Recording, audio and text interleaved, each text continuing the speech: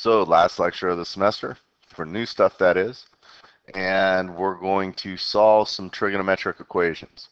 So in order to lay the base for that, what I'd like to do first is to solve an old algebraic equation. And this is a quadratic. So if I was going to solve this quadratic, I'd factor first. So I'd say 2x here, x here, 1 and 1, adding both, setting it equal to 0. We know that if we have two terms multiplied together equal to 0, then one of those two terms has to equal 0. And if that's the case, we have two solutions, x equaling negative 1 and x equaling negative 1 half. All right. The basic premise of this problem is to get it into a product of two terms, set them both equal to 0, and solve. We're going to do this a lot today, but we're going to do it with trigonometric equations, so we may have to use identities along the way. So here's our first problem. We're going to solve where x is between 0 and 2 pi, so there's only going to be a few solutions max. And again, we have a quadratic.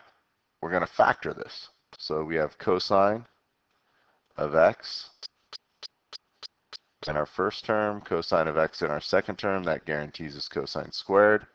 It multiplies to 4, adds to 3. That's a 4 and a 1. I need a negative on the 4, a positive on the 1. Set that equal to 0. We have the cosine of x plus 1 equals 0. And the cosine of x minus 4 is equal to 0. We need to know where the cosine of x is equal to negative 1 and where the cosine of x is equal to 4. Well, the cosine of x is equal to, and all these should be unit circle style problems. All right. So where is the cosine of x equal to negative 1? That's where is x equal to negative 1? That's over here or at pi. Where is the cosine of x equal to 4? It's never going to happen. Cosine always goes, if you remember, between 1 and negative 1. So this has a no solution part to it. That's called an extraneous answer.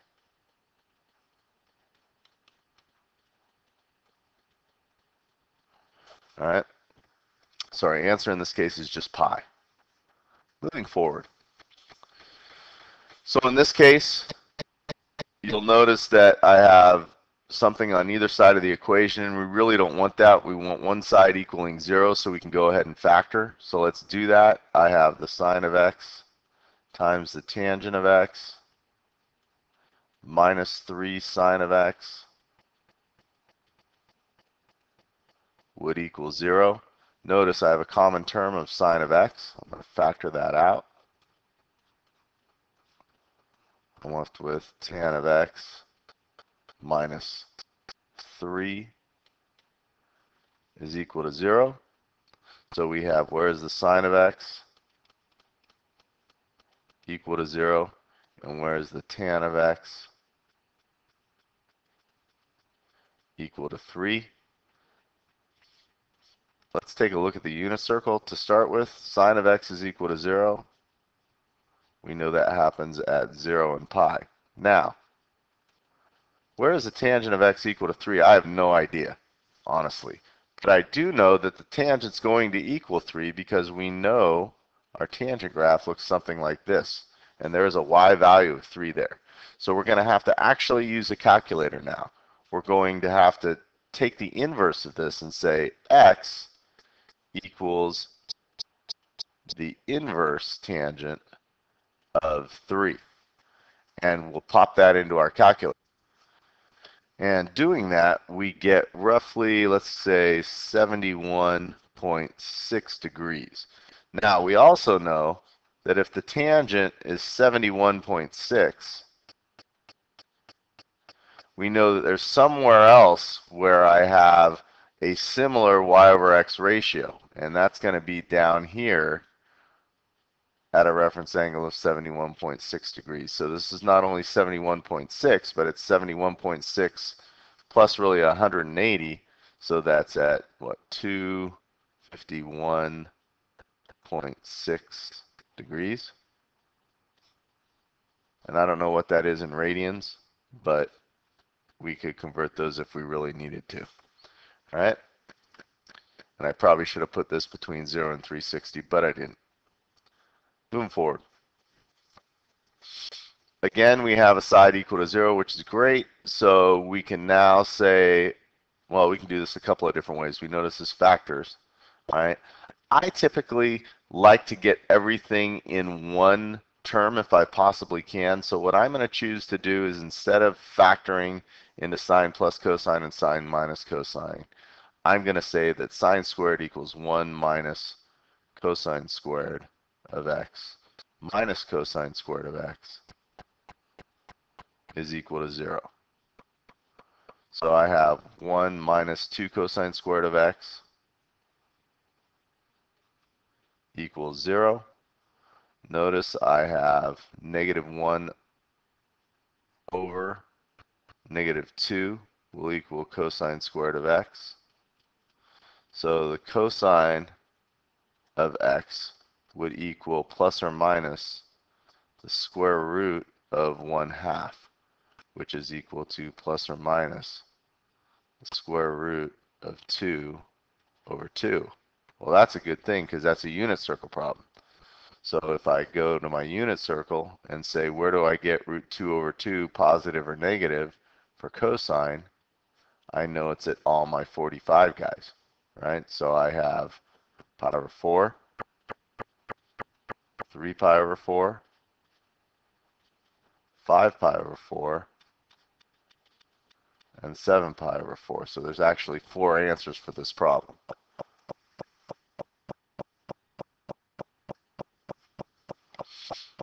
Notice again, we have a side that's not equal to 0, so I'm going to do that first.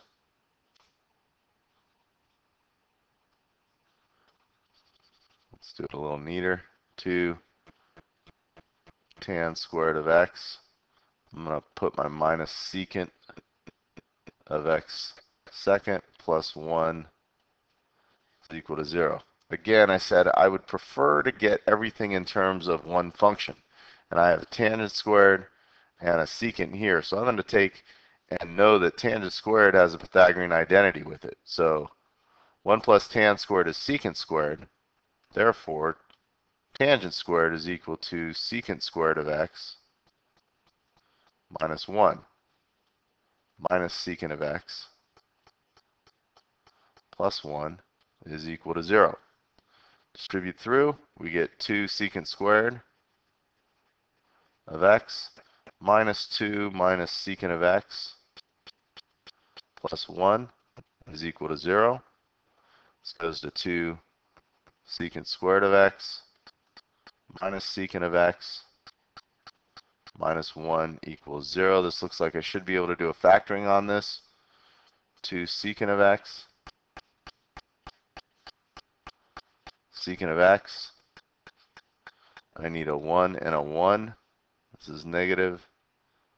This is positive. So I need to know where the secant of x is equal to negative 1 half and where the secant of x is equal to 1. Now this may not be identifiable for you, so what I'm going to do is change the secant to 1 over cosine of x is equal to negative 1 half and 1 over cosine of x is equal to 1. So now what I'm going to do is take the reciprocal of each side. So the cosine of x will equal to negative 2, and where will the cosine of x equal to 1? Cosine of x equals negative 2, that's an extraneous answer, it doesn't happen. Where does the x value equal 1? Well, that's at 2 pi in theory, we could put zero. So let's just do it. All right, and there's my answer.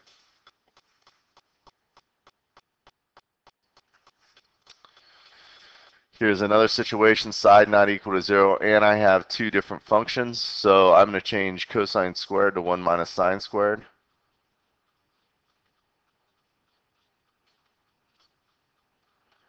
And I have 3 sine of x minus 1. I'm going to bring the 1 minus sine squared over to the other side. So set the left side equal to 0. Gives me sine squared of x plus 3 sine of x. Negative 1 and negative 1 make negative 2. Now, you'll notice in this case that while this seems to be a factorable problem, it's not. Because there's nothing that multiplies the negative 2 and adds to 3. So what we really have to do is we have to go to the quadratic formula, all right, which says the opposite of b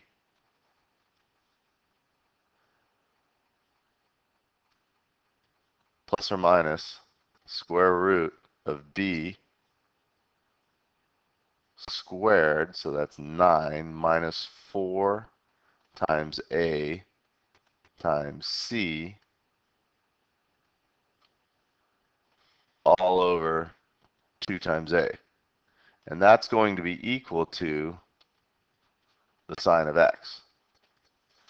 So now let's grind through this a little bit we get negative 3 plus or minus. That's 9 plus 8. That's root 17 over 2. So we're going to have to go to our calculator right now. We have sine of x. And let's not do this in radians anymore. Let's go ahead and do this in degrees just for fun. Um, and let's plug the quantity of negative 3 plus or minus root 17 over 2 into our calculator. When I use the positive, I get 0.56-ish, right? And then when I use the negative, I will get roughly negative 3.56. So what I have now is I have the sine of x equals 0.56 or the sine of x equals negative 3.56. Well, 56. This is going to be extraneous because we know the sine can't be greater than 1. So now we go inverse on our calculator. x equals the inverse sine of 0.56. That's going to get me one value as we know on our calculator. All right, and that value is going to be, let's just go with roughly 34 degrees. Now, looking at where 34 degrees is, I know I have another value where the sine is equal to, or the y value is equal to the same y value as 34 degrees. And that's going to actually happen, whoops, 34 degrees. That's going to actually happen over in the second quadrant at a reference angle of 34 degrees. And I know that reference angle of 34 is 34 back from 180. So that's at 146 degrees. So there's my two solutions. So when you can't factor, go to the quadratic and then use the inverse sine, cosine, or tangent button to get yourself done. All right, so now we've got a double angle introduced, and we've got this tangent introduced. So I know since my double angle is going to be 2 sine of cosine, then I'm probably going to want to change my tangent to sines and cosines. So this is 4 sine of x over cosine of x. Now, I'm going to multiply both sides by cosine of x. So this gets me 4 sine of x plus 2 sine of x cosine squared of x is equal to 0. Now, probably the best thing to do is notice I have common terms and go ahead and factor. So I'm going to pull out a 2 sine of x and be left with 2 plus cosine squared of x is equal to 0. Therefore, 2 sine of x equals 0, and 2 plus cosine squared of x is equal to 0.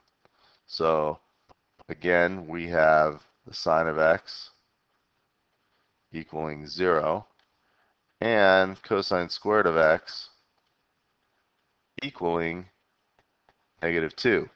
Well, never will a squared term equal a negative number, so this is extraneous. And we want to know where the y value is equal to 0. There's our circle. Where's the y value equal to 0? At 0 degrees. And pi and 2 pi. But since our initial problem stated we're doing this between 0 and 2 pi and neither can be included, we get rid of the 2 pi and the 0, and our answer is only pi.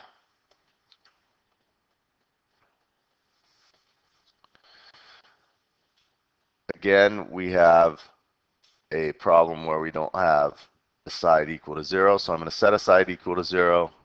I also know that I have a sine here and a cosine of 2x here, so I'm going to use the identity that has only sine in it. So that's 1 minus 2 sine squared.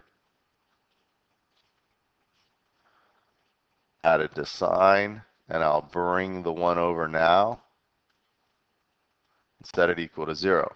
So you'll notice I have 1 minus 1, which equals 0. I now have the sine of x minus 2 sine squared of x left. I have a common term of sine of x that I'll factor out,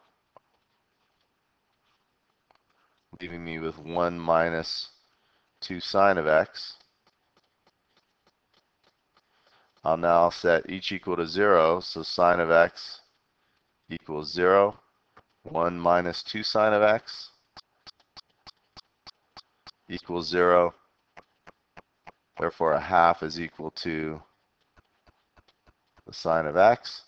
And I have to solve both of these now. I can state where the sine of x equals 0 between 0 and 2 pi. And that's going to be at pi. Again, because I didn't include that in my initial answer. Sometimes they will include it.